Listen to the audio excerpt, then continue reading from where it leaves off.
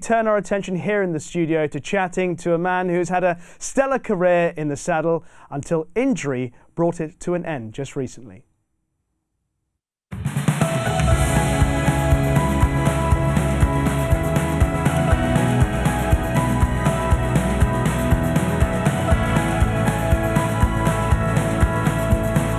It's Midnight Shadow out in front from claiming taking Forgan and at the line it's Midnight To win the QTS Scottish Champion Hurdle. Danny Cook riding for David Pipe and going much better.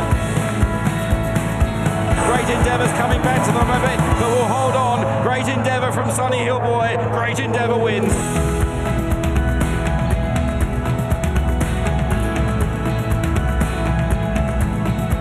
It's Definitly Red heading towards the closing stages of the Bet Trial Cotswold Chase.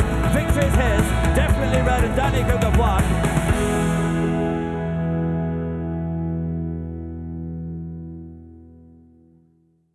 Oh, delighted to have Danny Cook in the studio. Obviously, Danny, there's a, a moment of sadness that it's at the end of your career because you've clearly still got much more to offer. Uh, and the first thing is to talk about that decision, which is still so fresh, the fact that you've had to call it a day. Uh, because looking at you from top to bottom, you look absolutely fine. So talk me through it. Yeah, um, basically when I, I I had my fall, I had my injury, and then I was trying to get back as quick as I could so I could. Uh, I didn't. It was early in the season, so I didn't want to miss. And the fall much. was a year ago, Yeah. October 2020. That's right. Yeah. So um, I was. I had my fall, and then I was. I felt perfectly fine within in my, within myself and in my body. Um, so I was keen to get back as quick as I could because, as far as I was concerned, it was just a bit of facial and uh, uh, my, my bones were all still intact. So I was. I was good to go. Um, so I was keen to get back as quick as I could. I got back quite quick, I think. Um, and then I, as as I started racing, I just um, I just kept struggling to see out of my right eye. Just um, when I was going into the horizontal position and tilting my neck back, um, I had excess skin or, or whatever was kept flapping down and covering my eye my eyesight. So um, so I was struggling, um, and then I called time on that, um, and then tried to just get myself better and uh, see what we could do. Um, but the hospital at the time says um, they they recommended against any operations or anything like that, just because it it the chances are it could be make it a lot worse, m- could make me a lot more uh, get double vision Yeah. and make things a lot worse than uh, than what it is already. Uh, So. Are you all right with looking back at the incident Yeah. on, on Ravenhill Road? Um, because I imagine uh, some people might not want to see it, considering the gravity of it now. But as you said at the time, you didn't think it was that bad. No, it's just as a jockey, you always think as long as you, you move your legs and you move your hands or arms, as long as you can, your body's fine, everything else is artificial, really. Um, so you think just get get me back out there. Yeah. Um, but obviously, um, yeah, obviously everything happened for, for a reason, really. But um, yeah, I, I, when, when I first was coming around, I was checking to see if I was, and I was thinking, oh, I'm absolutely fine. But funny because I thought I was just about to come to win this Win race, race, at the yeah. time. I was In just third at the moment, Yeah, yeah. I was just thinking, go on, boy. And then it just. uh, and it was the horse behind you. Yeah, I, yeah. At the time, I remember uh, watching. I thought, well, that's a, a relatively innocuous fall by. s- But then Yeah. you see, Yeah, obviously I was knocked out there for a bit. Um, just as I was coming around, I was just I just could feel I could feel tickling on my face, like when you're a bit numb. And I was thinking, oh, obviously I had a bit of a bang to the face. Um, and then when I started coming around, I started to sit up, and then blood was just dripping out. And then I was just thinking, oh, I, don't, I don't really know what's going on here. I obviously, I had a lot of blood coming out my right eye, and so my right my right eye swelled up straight away, so I couldn't really see out of it much anyway. Um, and then it was just literally they just took me to hospital, and then when they got me in hospital, um, they were doing loads of like intense searches into the eyeball and yeah. and stuff like that. Um, so yeah, it was all a bit all a bit of a all a bit of a palaver really at, at the Well, time. you say it's a palaver. I mean, did they did they not tell you straight away that this is potentially uh, going to affect you for the, the, the time that it obviously did, or did you feel that it was? I think obviously jockeys Yeah. push the boundaries a bit, don't they? Yeah, I mean, obviously, as a, as a jockey, you would never give anyone the full intent of what injury you've got or, or how you're feeling. You kind of just um, you kind of just try and carry on as best you can. um, and things ev- eventually come awry as they, as they have done before. You, you just carry on with any nig- niggly problems and that you got. You just carry on through it, and then uh, um, eventually you come right and you get sound, and then you're fine again. Um, but yeah, um, this one didn't seem to come right.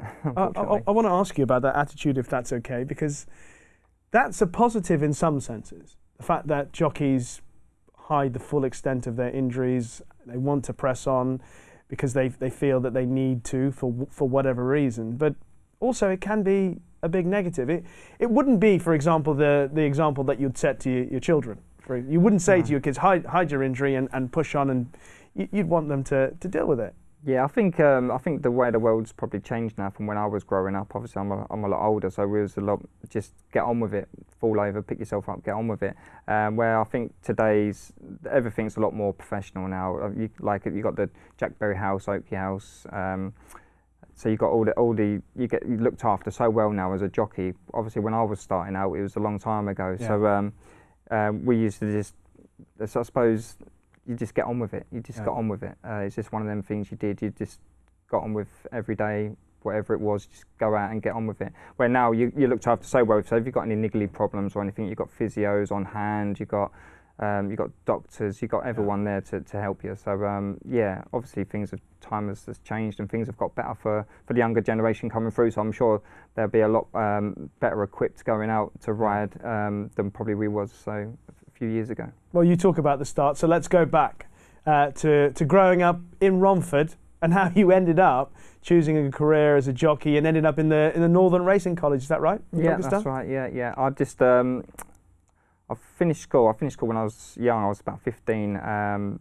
and my dad, uh, my mum was sick of me, so I had to go work with my dad every day. So I was uh, working like on landscape gardening and uh, doing a lot of heavy lifting and hard work. And I remember getting to about 16. I was like, oh, this is this is hard old job. This. I think uh, there must be an easier way of life. and um, and I, my granddad and dad used to love the racing, so we used to watch racing every every Right. weekend, um, have their little bets and place pots and stuff. Um, so I watched it with them, and I used to, I just got right into it. I was like, I'd be out for playing football with my mates, and then Yeah. like me, like dad would be shouting like, "The- "Your race is off!" So I'd be sprinting back in to watch me race, watch me race, then go back out and play football.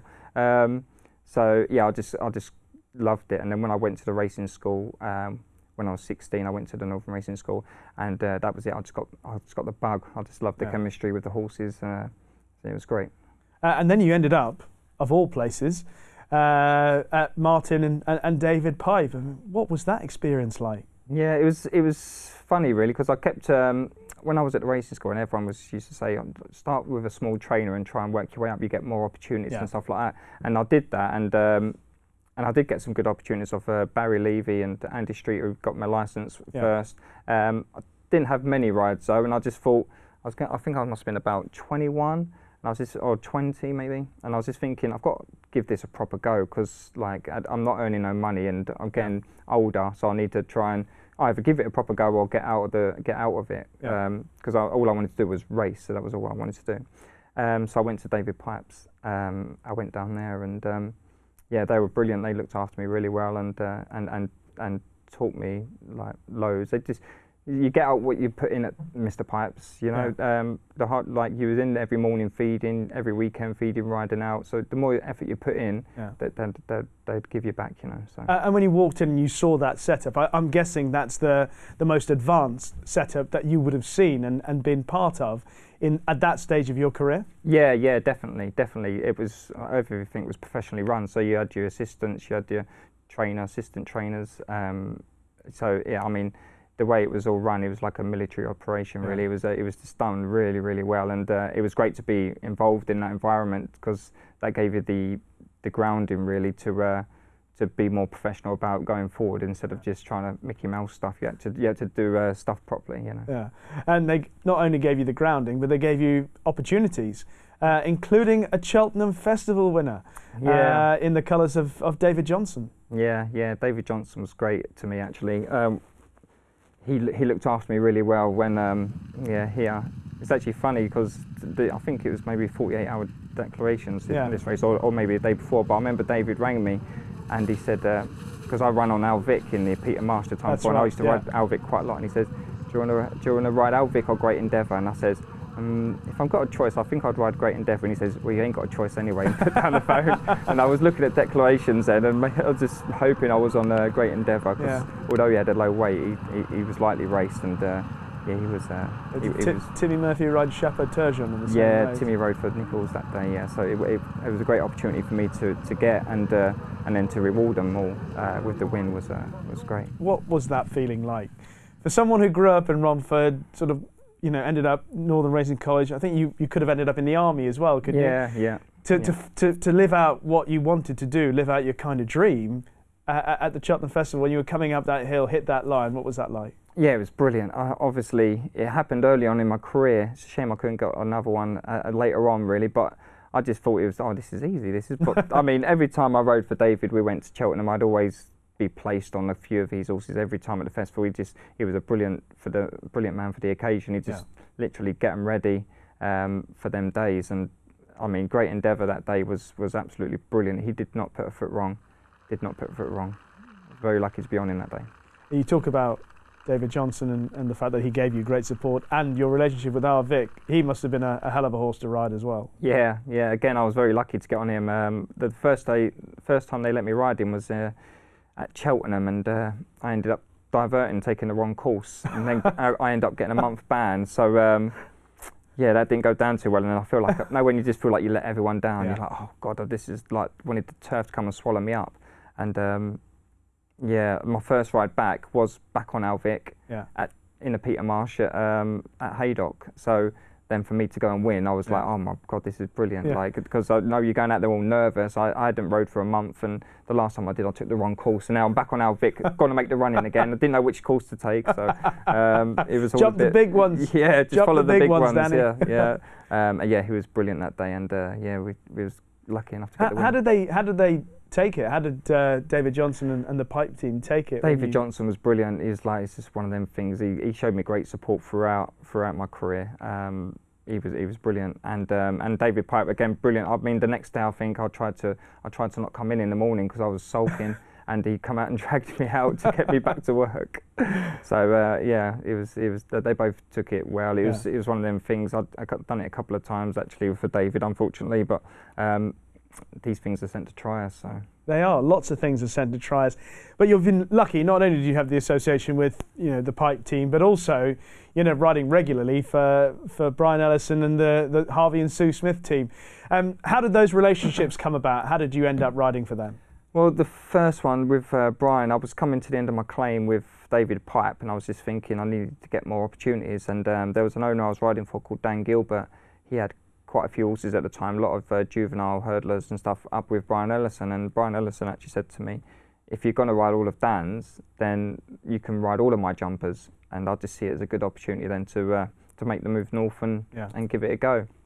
And so that things went from strength to strength with Brian there. We had a lot of good success, um, especially with the juveniles in them first few seasons. Uh, we used to do well with our juvenile hurdlers, and um, yeah, and then uh, there was a day then when um, Ryan Mania uh, finished in the saddle, um, and so Sue was looking for a jockey, um, and I think Ryan Mania actually put me in for the ride for um, uh, at Newcastle, Yeah. and um, and luckily it won. And then Sue started putting me on a few more. I think my first eight rides for Sue were all winners. Wow. So um, so yeah, we we struck, struck up a really good relationship from there, and um, yeah, things again just went from strength to strength. Let's, let's pick up on some of the horses that you would have ridden for, for both those trainers. And I guess one of the most exciting horses for us to watch over the season was Vintage Clouds. Uh, you know, clearly being the horse that he is, it's an attractive type of uh, proposition. But of course, he won a race that you did extremely well in. You talked about Our Vic and the Peter Marsh chase. You won the, the, the Peter Marsh with Vintage Clouds in 2020. Yeah, yeah. Again, um, he, he run really well this. It's the last time I ever got to sit on him. Uh, unfortunately, I never sat on him again since then. Um, the last time I actually ever rode him. But yeah, he, that day was absolutely, absolutely brilliant. He uh, didn't didn't miss a beat. I knew if I could stay in contention going down the back, he knows his way around Haydock. He finds uh, two extra gears turning frames. So I knew if I could stay in contention Yeah. going down the back, I knew when I met the home straight, he just he goes. He knows his way home. what was it like watching him at Cheltenham?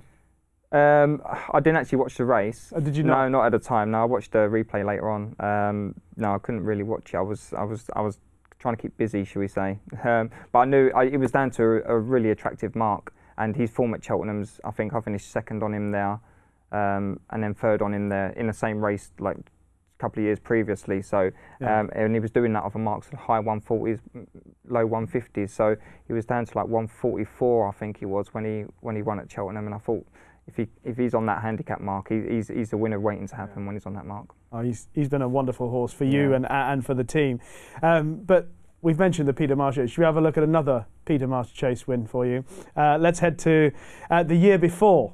Uh, Vintage Clouds won it in splendid isolation, and this time again, uh, Sue Smith, Wakanda. Oh yeah, Wakanda. Yeah. Were you were yeah. you confident going into the race that he would win? No, no, not not not at all. I know he's got it in his locker. He's he's, he's a fantastic horse on his day. He was he, he kept getting little jointy problems and little leg problems. Not bad, but just little things just annoying him. So on his day, if he was going forward on a going day, he, he he's a very very good horse. Very, I think the first five, four or five rides I had on this horse, I won. I think I won like two Grade Twos. He, he was he was a superstar. Um, I won a big a big race at Ascot on him. Um, and yeah, when he was this day, he was just he was in no mood to get denied. He was yeah. uh, he was brilliant. These these staying chasers, Danny, are, you know, you look at the way they race and how genuine they are, and the way he's he's flicking his ears. He, he looks like he's got more in the tank all the way to the line, like you've said. Yeah, yeah. He was he was not going to get beat this day. He was he was just in, he was on a going day, and he was just he was just loving yeah. loving life. The, the the ground and everything was perfect for him. It was just like sometimes if you rode him on one day, the ground going into a jump might just been a bit quick, and you just feel him backing off the fence about four or five strides out because he's just filling his legs a bit. But yeah. on this day, everything just ran right, and uh, he just flowed through the ground lovely.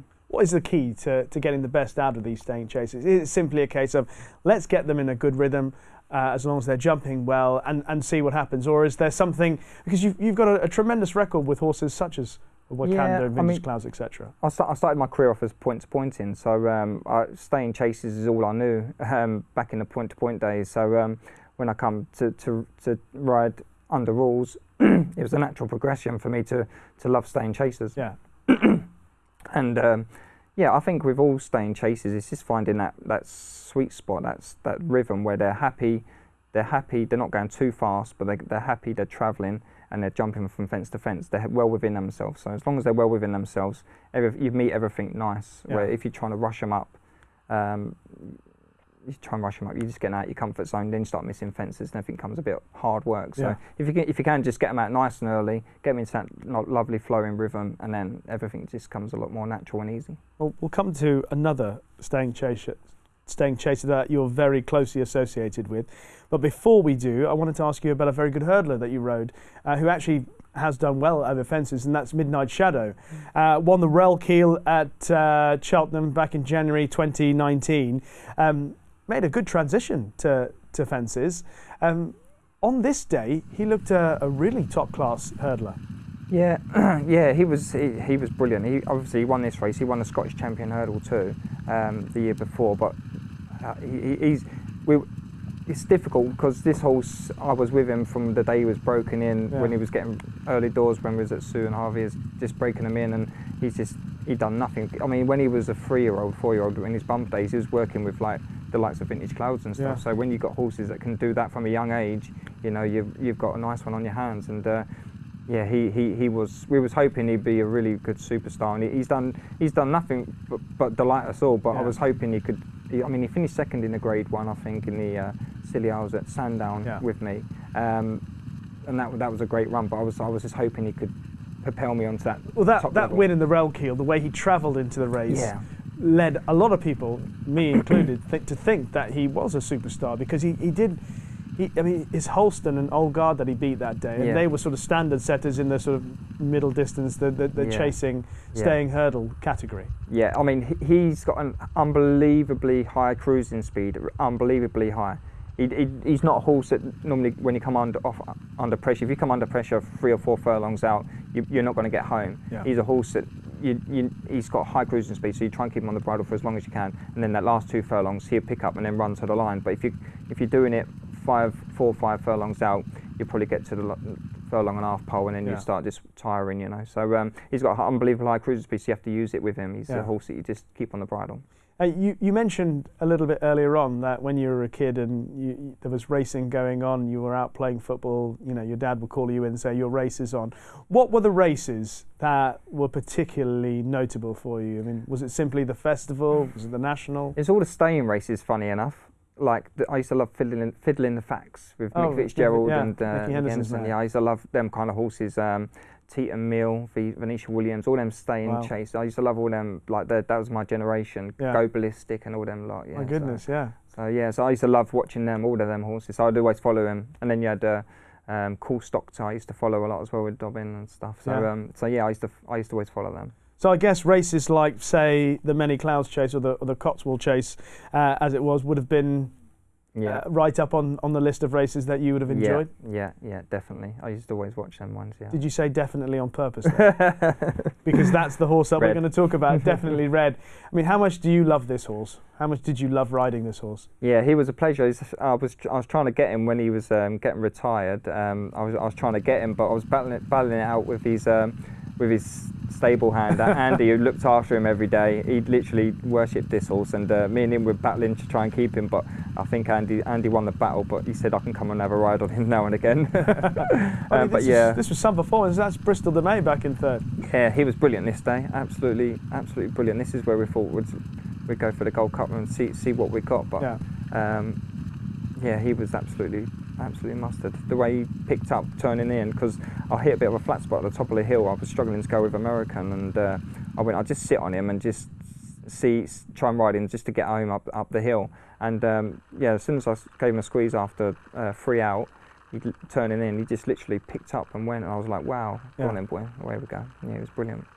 When you talk about relationships with horses and the way people feel about them, I mean, we often assume, or certainly I often assume, that jockeys get this bond with a certain horse and you know they think about them a lot. They want to go and see them. They want to look after them. Well, like you've mentioned. I mean, is he is he the horse, the horse that you know you've probably felt something really really close with?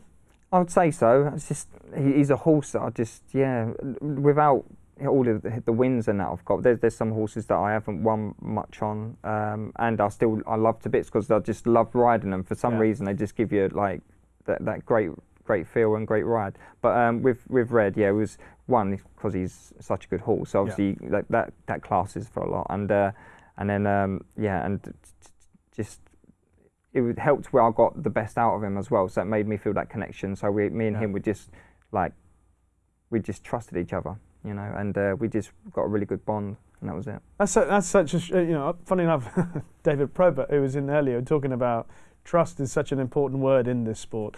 Um, funny enough, chatting to other people about about horses who perhaps don't don't know that much about horses, and you try to explain to them why is the trust between horse and rider such a special thing, and uh, I've tried to explain to them. I think you've done it better than I could possibly have done, and I've often said because horses by nature. You won't find a horse going right. I'm going to run round, run round a field and I want to jump all these fences. That's Mm. not in their nature. Or, you know, sort of in a question. Well, they're not going to run into water and jump a fence. That's No, not. no. So, in order to get them to do that, you have to get them to trust you. Yeah, And yeah, that's that's so satisfying, isn't it? Yeah, it's just that bond, especially from an early age with a horse, and then actually then seeing them progress. It's that bond that you that horse trusts you, as a human, whether it's me or whether it's you. But that horse, so it's it's it's starts from the the breeding operation where the horses have to get the trust in the people from then, and obviously then they come into the yards and stuff. So it's it's all starts at a very young age for the horses and. And, and, a, and a breeding operation really. So once they get that, and then then they come to, to us as they get older, and then we build up that special relationship with them. And then obviously we're, we're there till their till their racing careers uh, either finished or Mm. or uh, they've gone on to do different things, you know. Um, so yeah, I mean uh, that trust, having that trust and that bond is uh, is what us jockeys do it for. Uh, yes, winning, but it's that it's that it's that connection between horse and rider. It's uh, it's, it's unbelievable. Yeah, How much are you going to miss it? I'll miss it loads. Yeah, I will miss it. I will miss it, but time time moves on. What What are you going to do? Um, still up in the air at the moment. I still really don't don't really know. I'm working on the landscaping at the minute, doing um, doing people's gardens. So um, it's a bit bit of a difference from uh, from racing at Cheltenham or, or anything like that. But um, just for now, I'm just paying the bills. But I'd, I'd like to do something in racing somewhere along the line. Yeah. Um, I don't know what it'll be or what it's going to do, but I'd definitely like to get back into it at some stage. When you say you'd like to do something in racing, you don't know what. Is it something to do with the horses directly? Or yeah, with the horses directly. No, no, with the horses directly. I think um, I'd like to do. Um, yeah, I'm, I'm, I'm going to take a bit of time out for the winter, so I'm going to start riding out for people and that through the winter, just Okay. to just to Yeah. go see them. And this, now the horses are all fit, and Yeah. I can go see them all. So uh, I go do a bit of work and that on the on the horses through the winter. Uh, Danny, I always wonder about people like yourself who's been who've been in the sport for such a long time, and the without sounding cynical, but the use that you are to the sport. You know, because your experience, having come up through the ranks as you did, you know, if you were to sit down with, say, people at the BHA or sit down with people in racing administration, which is kind of what I was suggesting perhaps when you said, I want to do something, you know, I imagine that the info that you would have gathered th- during your time would be invaluable in helping make things better. So tell me some of the things that you think could be better from a jockey's perspective through your career. Um, I think I think they're doing a pr- pretty good job at the minute, especially now from when I've started out to where we are Yeah. now. Um, so I think um, all in all, I think the jockeys are really well looked after. As like you've got lots of healthy options in the weigh rooms now, so to to manage weight control. Um, hopefully the sauna's going to get done with, so no one's got a crash diet and, and lose a load of weight anymore. Um, and they're hopefully keeping the extra couple of pounds, which would help lads as well. Um, so I think as a jockey, I think we, we're pretty well looked after Yeah. um, in that respect, really. I mean, obviously, it, it's it's the mental toughness and stuff like that's going to come into facts with the with all the Twitters and Facebooks and all that Uh, did you struggle with that at all? no, no, I, I didn't. Probably, I've, I always had people message me and stuff like that, but I, I never really bothered me, you know. Um, it, but I, I know, I know it does bother people, you know. But um, it never bothered me. So if someone came to you in the weighing room and said they're getting stick off social media or they're being trolled or they've had emails or whatever from punters, disgruntled punters, what's your what's your advice to them? Um, it's, I'm probably not the best one to ask about that really because I say man it up and carry on, but it's not the right way to go really. Um, obviously, you have to report it to the BHA and uh, try and Yeah. take things forward. Um, but yeah, I mean, my, my opinion was um, I, I didn't my, my opinion their opinions didn't matter to me. My opinions that mattered to me was from my trainers or my owners who I rode yeah. for. So that's what mattered to me. Where other people's opinions Yeah. didn't really matter. Who are the who are the people that were closest to you in the weighing room and that you'll miss perhaps the the, the regular contact with? Um, all of them really. It's all. It, every day was a good day. Um, yeah, I, I had a good good friends up north when I was obviously up north the last few years. But then I had good friends down south because I was a southern jockey for a good few years as Yeah. well. So like the likes of Aidan Coleman, Sammy. I mean, everyone's been on the blower and uh, text me and stuff. So everyone's been Yeah. really good. And then you got Henry Brooke and Husey and uh, Sean Quinlan as well up north. So um, so I, I'm yeah, I'm, miss them all, but. Um, I'll, I'll still be about at some Yeah. at some stage. And uh, the the tributes that have been paid to you since you announced your retirement have been tremendous. And Brian Ellison's uh, tribute to you, where he says that there hasn't been a, a braver jockey that he can remember. I mean, when you consider the fact that you know yeah. AP McCoy, Richard Johnson have been riding, and he's saying that in terms of braveness, I say Uh, stupid. I'd say. I think. I think he'd say stupid. Sit still, Danny. Sit still. yeah, that's what he used to always say. My horse has jumped. Just sit still. Like, but I see one, bro. It's like just don't sit still. but when you Yeah. hear Brian say something like that, you know, Yeah. it, I guess it must um, must stir the emotions a bit. Yeah, it does. It does. It's because it's not just that. It's when I'm talking to my agent every day. So you're always with your agent or the trainers, and you're always chatting. So it's the, it's it's all of that. It's all of the hustle and bustle of it all that that that I did through through the years. That's what I'll miss. You know, more than more than anything really. The hustle and bustle, talking to everybody, and then um and then obviously the racing as well. Yeah. I won't Well, miss the driving though. No, that's that seems to be standard. Everyone says, "Oh, I Yeah. miss the drive. I miss the travelling." yeah, yeah, I won't miss the Uh, but it has been fascinating talking to you, Danny. And I, I noticed there are loads of uh, D Cook landscaping cards left out around the office this morning. Uh, but hopefully, we will see you back in the sport in some form or the other. Uh, very soon, and uh, and hopefully things will be onwards and upwards for you. Um, from our part, it's disappointing that you've had to retire, but certainly have enjoyed watching you and the relationships that you've had with all these horses, whether it's an Our Vic, uh, Vintage Clouds, Midnight Shadow, and and Red, of course. Um, you know, I think there's a lot for you to be proud of in, in your career. So for for what it means from us, uh, it's been an absolute pleasure watching you through your career, Danny Cook. Thank you very much. Thank you. Cheers. Uh, it's been a real joy chatting to Danny Cook today, um, and we certainly wish him the best of luck, whichever path he chooses in the future. But uh, we'll take a break. When we come back, Dave Ord will be back in the hot seat to go through this week's talking points.